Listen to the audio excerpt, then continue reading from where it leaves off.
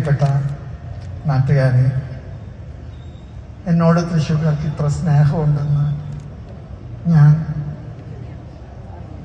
കരുതിയിട്ടില്ലായിരുന്നു ഞാൻ ചിലപ്പോഴൊക്കെ ചിന്തിച്ചിട്ടുണ്ട് ഞാൻ മരിച്ചു കഴിഞ്ഞാൽ വലിയവരൊക്കെ ഉണ്ടാകുമെന്ന്.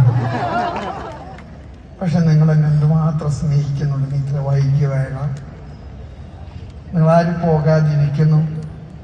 നിങ്ങൾ ഈ കാണിക്കുന്ന വലിയ പ്രോത്സാഹനത്തിന് എനിക്ക് വാക്കുകളില്ല I feel very much emotionally upset thank you very much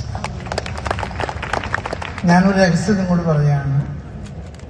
എന്റെ ജീവിതത്തിൽ എനിക്ക് ഏറ്റവും ഇഷ്ടമുള്ളൊരു കാര്യം തൃശ്ശൂർ പൂരമാണ്. അതിനൊരു കാരണമുണ്ട്. ആയിരത്തി തൊള്ളായിരത്തി അമ്പത്തി ആറ് ഏപ്രിൽ മാസം ഇരുപത്തൊന്നാം തീയതിയാണ് എന്റെ ബർത്ത്ഡേ.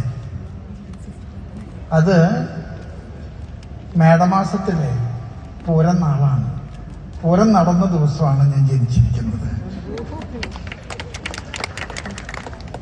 എന്റെ അമ്മ പറയുന്നത് വെടിക്കെട്ട് പൊട്ടിയപ്പോ പിടിച്ചു നിൽക്കാൻ പറ്റിയില്ല.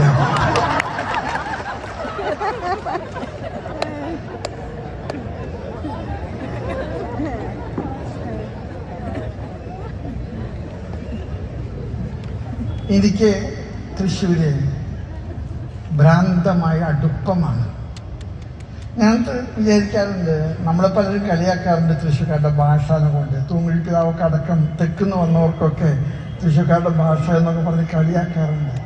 ഈ തൃശ്ശൂർക്കാരുടെ ഭാഷയിലെ ഡോക്ടറേറ്റുള്ള ഉള്ള ഏക മിത്രാനിച്ചൻ ഞാനാണ്.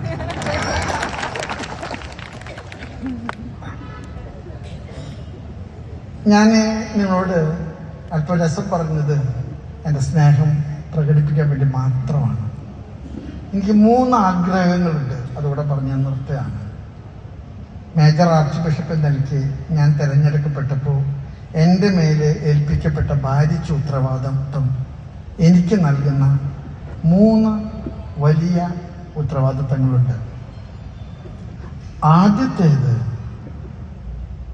ഒതന്റിസിറ്റി ഓഫ് മൈ ലൈഫ് ആധികാരികതയുള്ള ഒരു ജീവിതം എനിക്കുണ്ടാകണമെന്ന് ഞാൻ കൊതിക്കുന്നു ആഗ്രഹിക്കുന്നു.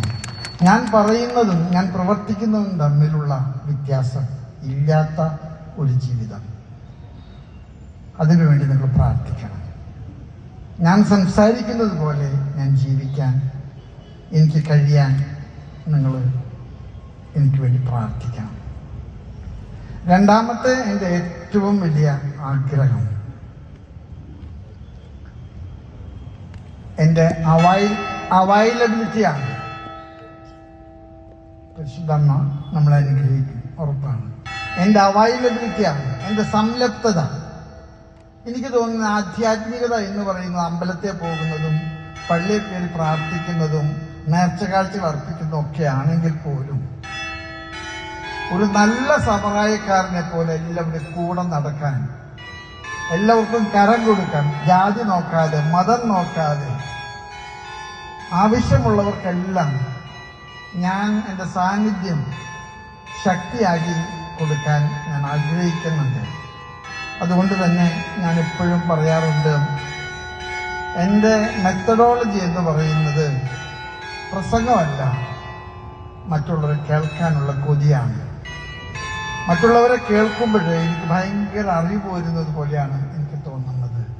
ഞാൻ പ്രസംഗിക്കാറുള്ള ഒരാളാണ്. ദീർഘമായിട്ട് ഞാൻ സംസാരിക്കാറുണ്ട്. പക്ഷെ എനിക്ക് അതിനേക്കാളൊക്കെ കൂടുതൽ ഇഷ്ടം മറ്റുള്ളവരെ കേൾക്കാനാണ്. പ്രത്യേകിച്ച് ആവശ്യത അനുഭവിക്കുന്നവരെ സംഘർഷങ്ങളുള്ളവരെ.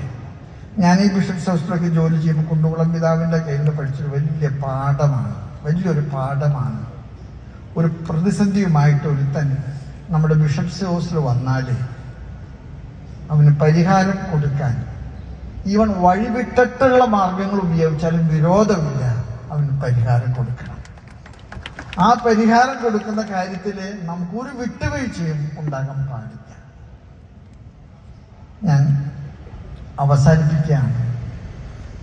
മേജർ ആർച്ച് ബിഷപ്പ് എന്ന എന്റെ ഏറ്റവും മുന്തിയ പരിഗണന ഏറ്റവും മുന്തിയ പരിഗണന സമൂഹത്തിൽ പാർശ്വവൽക്കരിക്കപ്പെട്ടവരോടുള്ള ഐക്യദാർഢ്യമാണ്.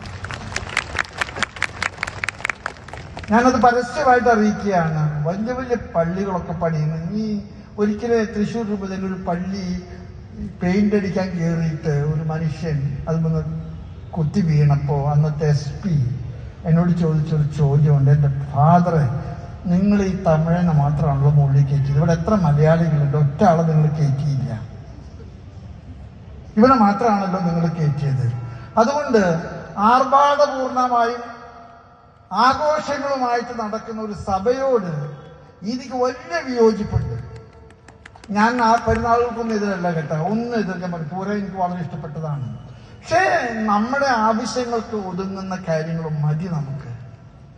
ആവശ്യങ്ങൾക്ക് ഒതുങ്ങും. അതുകൊണ്ട് തന്നെ ഞാൻ എന്റെ പോളിസി സഭയുടെ നേതൃത്വത്തിൽ എനിക്ക് കൊടുക്കാനുള്ള എന്റെ കാഴ്ചപ്പാട് മേജർ ആർച്ച് ബിഷപ്പ് എന്ന നിലയ്ക്ക് എന്റെ തലയിൽ വെച്ചിരിക്കുന്ന കിരീടവും ഞാൻ പിടിക്കുന്ന ചെങ്കോലും എനിക്ക് നൽകിയിരിക്കുന്ന പ്രവാചക ദൗത്യം സഭ അനാവശ്യമായി താർപാടങ്ങൾക്ക് ചെലവഴിക്കുന്ന പണം മുഴുവൻ പാവങ്ങളുടെ സമുദ്ധാരണത്തിന് കൊടുക്കാൻ സഭ കടപ്പെട്ടിരിക്കുന്നുവെന്ന് സഭ ഓർമ്മപ്പെടുത്താൻ ഞാൻ